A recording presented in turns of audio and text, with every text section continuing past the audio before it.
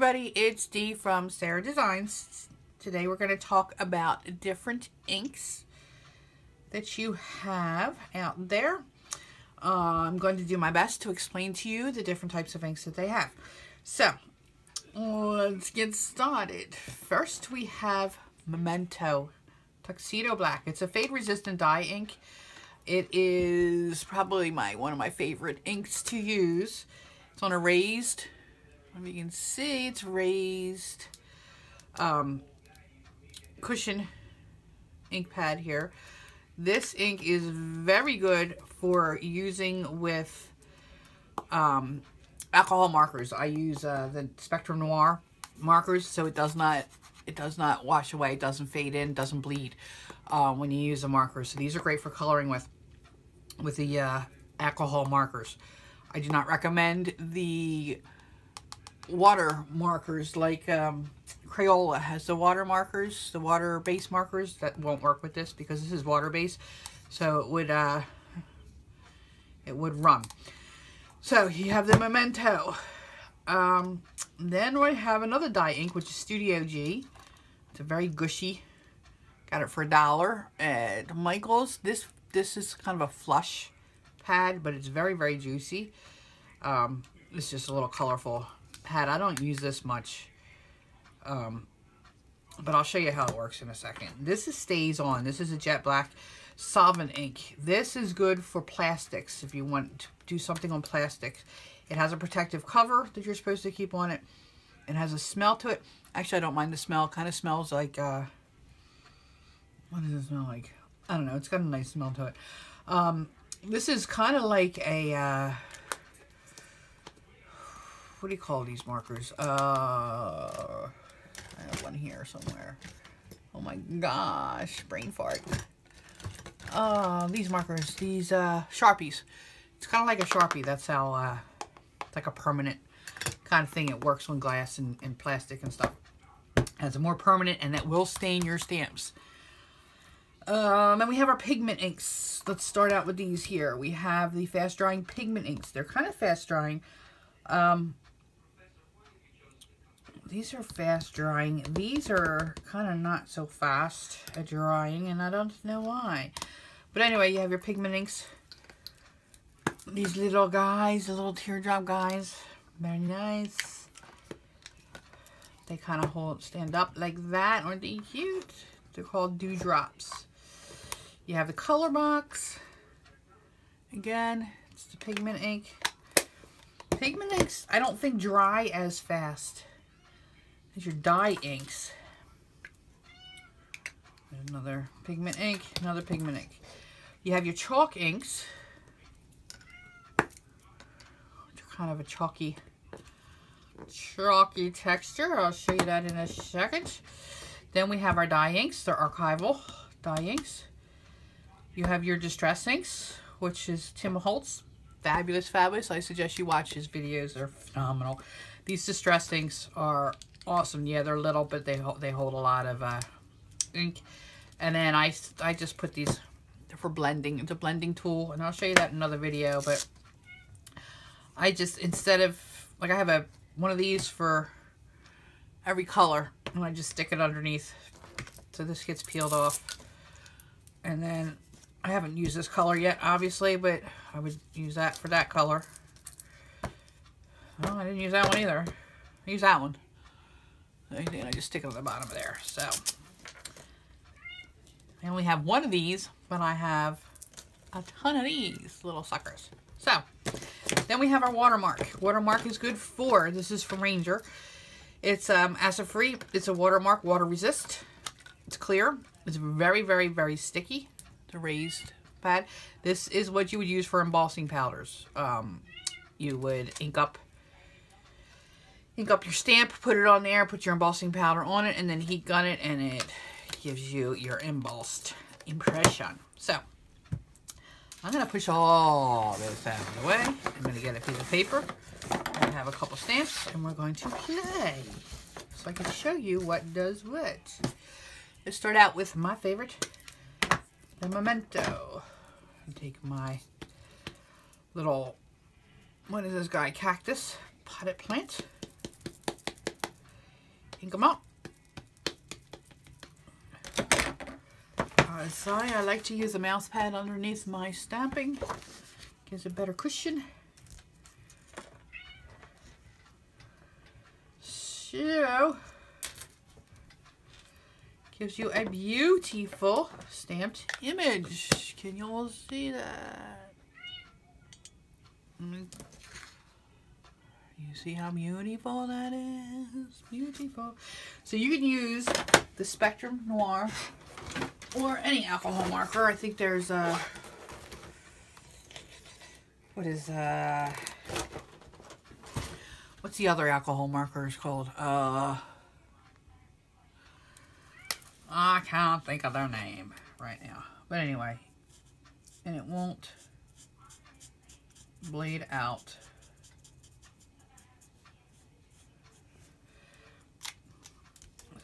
Oops.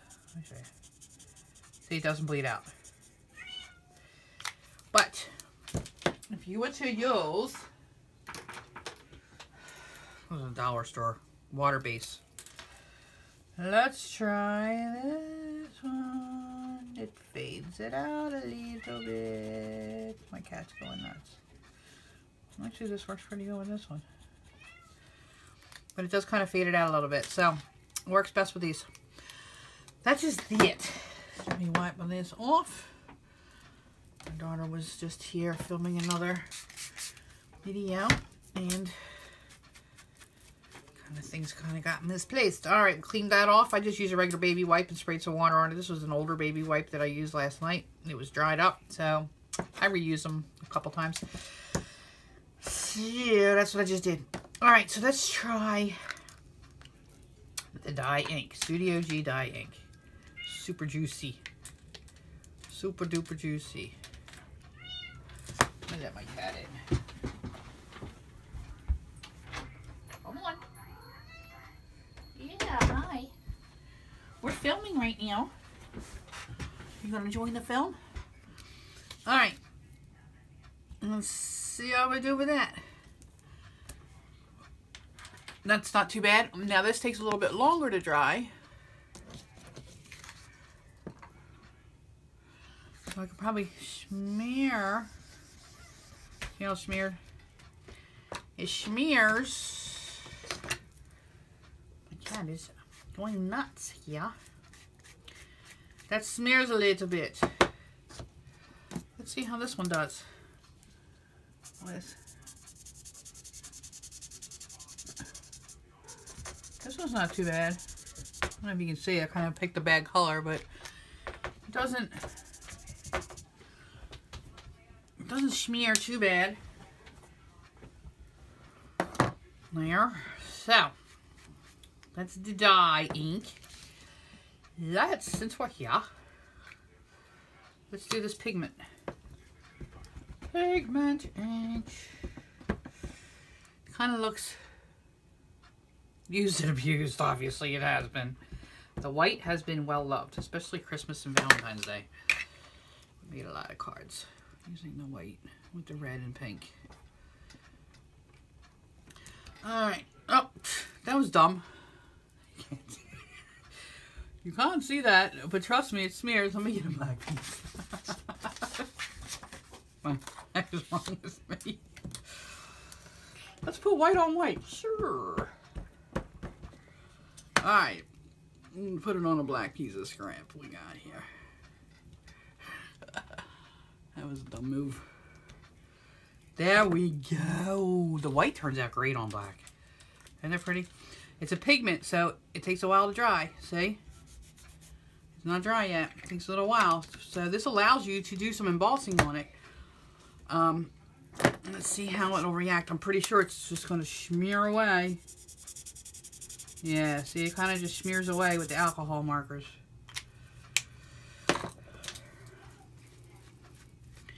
So that is the Studio G Pigment ink. That's that one. This is Studio G also. Let's try the Color Box. Color Box Pigment. We'll do it on black since we got it out. And then we'll do it on the white and see which one we like the best. What color is this anyway? I don't know. It's just Doodlebug design. Pigment ink pad. Color box. Oh, maybe there's a color here. Swimming pool. It's called swimming pool. Oh, I. Kind of looks like a swimming pool, I guess. Alright. Here it is on black. Oh, that's pretty on black. Let's do it on the white. Not bad, not bad. Again, it's a pigment, so it takes a little while to dry. See, smear, smear. Again, can't use alcohol markers with it because it will smear it. What if you use water-based? Yes, you can use the water-based because I don't know why. Is it water-based? Is it what is this made of? Drying time will vary by surface. Raised pad fits any size stamp. Clean stamp after each use. Alrighty then. Not for use by children under 17. Under 17, under 12. Yeah, kids under 17 games. Acid free. I don't know what it's made of. I don't know. Anyway, that was that one. Alright. Moving on. I never used this stamp before. Now it's getting lots of love. So, let's do the little dewdrops. The dewy drops. This is a chalk ink. I haven't really played with these much yet. I just got them. I got them at Tuesday morning, my new favorite place to go. They have lots of discount stuff. These were like 75 cents a piece. My daughter went to the clearance section. She's great at finding clearance stuff she went to the clearance section and she comes back. She's like, oh, she got them all. She took all of them. So, we got them all. So this color, I can find out what I did with the leads right here, it is pers persimmon? Persimmon. Chalk ink. Alright. Ooh, that's pretty. That is so pretty on the black. Let's do it on the white. See what we get. Oh, it's pretty on there too. Oh, I'm going to use that color soon. That's very pretty. Very, very pretty. So that's a chalk ink. Oh, that smears pretty good. Try a different finger so you can see. Yeah, it, it takes a while to dry. This chalk ink. And again, I don't think it would work because it's wet. Yeah, it washes it away. Does not work well with alcohol markers, but it's pretty nonetheless. So that would take a while to dry, chalkings. But I think you get a really good crisp, pretty, you can kind of see through it. Like, this one you really can't see the, the white paper through. Again, this dye ink you can't really see. But these pigment and chalk ones, you can kind of see the paper peering through. It's more opaque, think is the word. We're gonna need a new, new baby wipe. All right, moving on, moving on. Yeah, we did the chalk ink. Let's try fast drying pearlescent olive. Here's another regular pigment ink. Let's try this one. Yowie.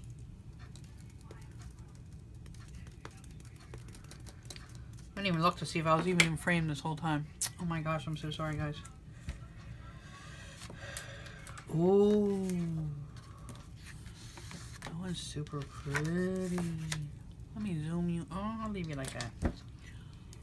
We'll see how we do. All right.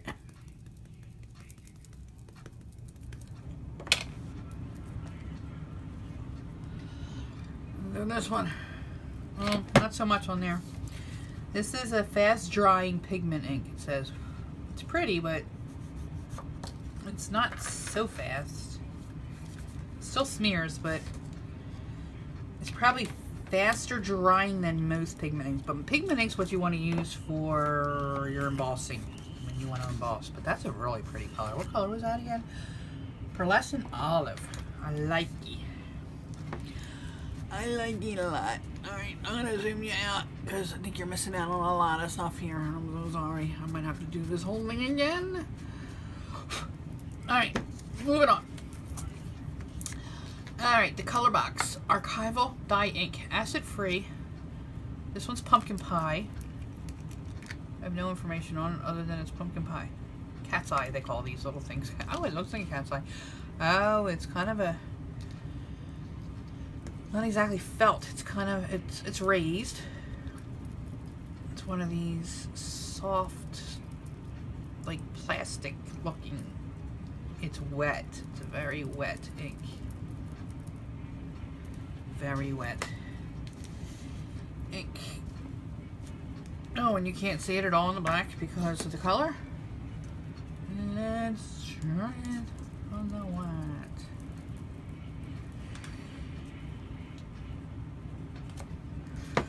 Pretty. Very pretty. Let's see. See how fast drying you are. Cool. That's dry already. That is fast drying. So the dye inks are pretty fast drying, so you really can't use them for um, embossing with embossing powder. You'd have to be super, super quick, and it would dry too fast. I think you better be better off with the um, tuxedo black, the um, not tuxedo black, the uh, pigment inks. All right. So the watermark just gives you a watermark, which I'll show you. Doesn't do much of anything at all. You're really not going to see it on here. You're not going to see it on here either, but odds of you seeing it on here are better. You see that? There you go. There you go. You can see it. But it's really just a watermark. Um, takes a while to dry, so that's why it's good for embossing. I'll show you it on the white too. Can't really see it, if at all. I mean, Kind of, sort of. Let me see. I'm trying to get the light on it. I don't know. Am I doing it? No. Sorry, guys. It's there. You can kind of barely see it, but... Anyway, that's what the watermark looks like. Like nothing. Alright, when you store your ink pads, you want to store them upside down, too, so that it keeps the ink coming down to the surface. So store them upside down. I keep the my favorite ones next to me. The other ones I keep over in the corner, in the box over in the corner. Oh, they're on the other side of the room there. Not too far from me, but close enough but far enough. Now your distress inks. These are fun. So much fun, fun. I like these a lot. These you can do so much with. I'm not going to get into everything you do with these, but I will show you. You can stamp with them. I'll show you really quickly. We're going to take this aged mahogany. It's from Tim Holtz. I highly recommend these, and I highly recommend you go on his site and look at all his videos. There's so much you can do with his distress inks, and he's got a lot of awesome stuff. So I inked it up. Push it down. Beautiful, right? So, do that. You can take, take this one off, put it on. You can smear it out, which just stamped it, so I wouldn't recommend it. But anyway, you can take this, get it on there, see how that is?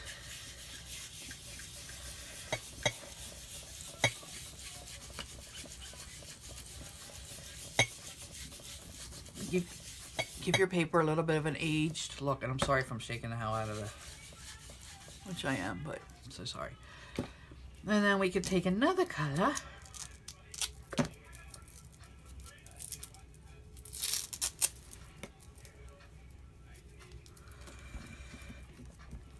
That one in there. Oh, excuse me, I got the hiccups really bad. And give yourself a whole nother look. You could do distress stuff with that. This. Um, like I said, that's a video for a whole nother day. But distress inks are fun. You can also spritz some water on it. And it'll give you a whole nother effect because it's meant to resist or react with water. And you'll see that in a second. I don't know if you can see it yet. I'm going to zoom you in. And you'll see right here how it's resisting the water or reacting to the water. It gives you a very cool effect. You can... How cool is that? Like, oh my gosh, there's so much you could do with distress inks. It's just amazing. Um, I have a little collection of them, not many yet. I do like the little ones. They do have bigger ones. I don't feel the need for the bigger ones yet because I don't use them that often. I'm just getting into them. Just getting the hang of them. I do have a little box of these little dewdrops and these little cat's eye things that I've been collecting. That's how I keep them. In my little box. These in my little box. They get a lid. These I keep stored upside down in another box. Oh, that's, I don't know if I showed them to you now because I just was off camera. Oh my gosh, I have hiccups.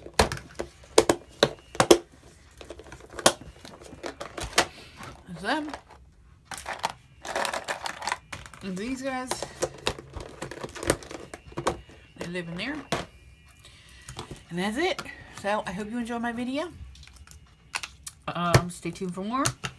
Subscribe if you want to see more. This is more or less a beginner's guide to craft making and card making and this is basically just the beginner's be, beginner basics the basics of um, crafting with paper and cards and ink and stamps and stuff. So hope you enjoyed it. Uh, stay tuned for the next video which I'm not sure what it's going to be yet but stay tuned and I hope you all have a good day. Thank you. Bye